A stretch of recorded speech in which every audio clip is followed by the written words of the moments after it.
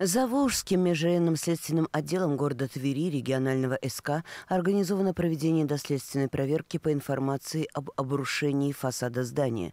Следователям СК установлено, что 28 марта на одном из объектов Твери проводились строительные работы. Внезапно обрушился фасад стены складского помещения объекта. Фасад рухнул на строительную опору сооружения, где в это время находилось четверо рабочих. Трое из них сумели сумели самостоятельно выбраться из завалов. Четвертого пришлось спасать. Все четверо экстренно доставлены в больницу.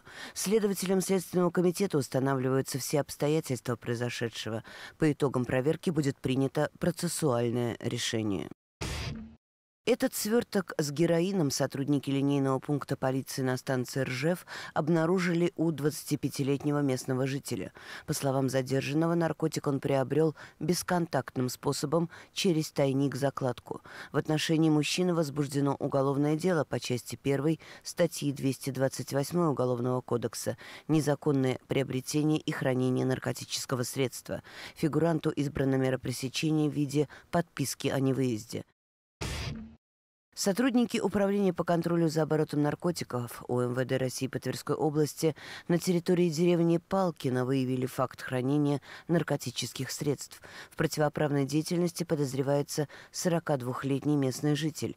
В хозяйственной постройке на участке подозреваемого обнаружены наркосодержащие растения и газетный сверток с марихуаной. Кроме того, в легковом автомобиле фигуранта обнаружен полимерный пакет с коноплей. Объем изъятого относится к значительному размеру. По словам подозреваемого, наркотик он хранил для личного употребления, без цели сбыта. Это сейчас проверяется. Возбуждено уголовное дело. Максимальная санкция статьи предусматривает лишение свободы на срок до трех лет. Фигурант находится под подпиской о невыезде.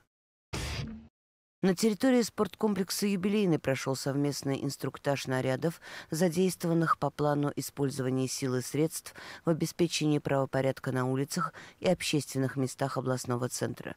В инструктаже приняли участие инспекторы ДПС, полицейские отдельного батальона патрульно-постовой службы, Росгвардии, кинологи со служебными собаками, а также представители народных дружин.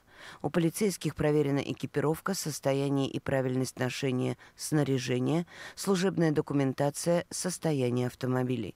Заступающим на службу доведена оперативная обстановка и даны ориентировки на разыскиваемых лиц. После доведения приказа сотрудники полиции приступили к своим служебным обязанностям по охране общественного порядка на территории Твери.